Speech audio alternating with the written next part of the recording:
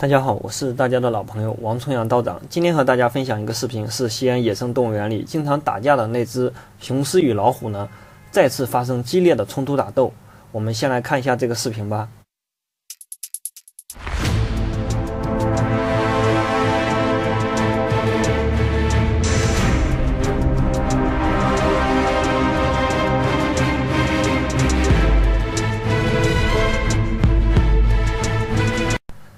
之前和大家分析过老虎与狮子的性格的不同。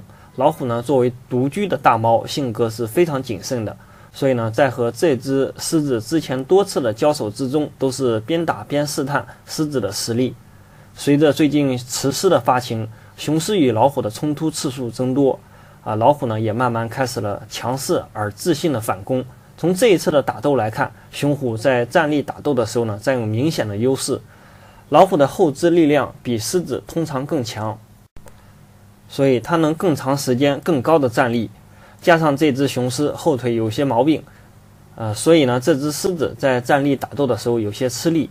根据饲养员的描述呢，这只雄狮目前比这只雄虎体重重二十到三十千克，那似乎呢是可以弥补它后腿有点毛病的不足。但是呢，从正面抱摔的来看呢，老虎的力量。明显比这只狮子呢更胜一筹，一套动作可以说是行云流水。他先是将狮子先倒在地后，啊，先攻击狮子的后肢，在狮子照顾后肢的时候，迅速抱头按住，准备锁喉。那这个时候呢，雌狮的加入干扰了雄虎，所以，呃，因为在老虎的眼中呢，除了他自己，其他的大猫呢都是敌人。狮子呢也就趁机用后肢啊踢去踢老虎的嘴巴，然后他迅速的站了起来。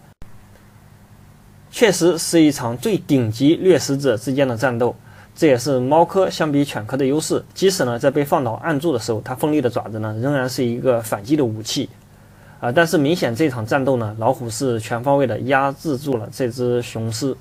好了，谢谢大家的观看，再见。